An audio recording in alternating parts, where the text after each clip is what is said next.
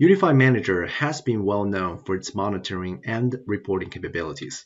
In the ActiveIQ Unified Manager 9.7 release, we provided storage management capabilities so users can provision and assign performance policies to individual workload across all clusters in their storage environment.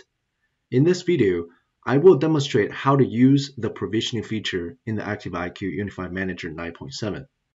To access the feature right away, Let's click on the provisioning button on the left column and provide the name of the workload, which cluster and SVM we would like this workload to be placed, and input 2 GB as the capacity requirement. It is recommended to assign a performance service level, or also called adaptive QoS policy. As an example, let's choose the value tier of the performance service level. If you don't wish to assign a performance policy, you may uncheck Enforce Performance Limits box.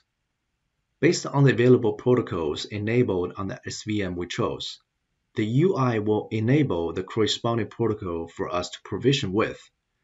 Once we hit the Save button, the Unified Manager will automatically find the most suitable aggregate based on the capacity and performance availabilities and the type of storage medium, then place the workload in that aggregate.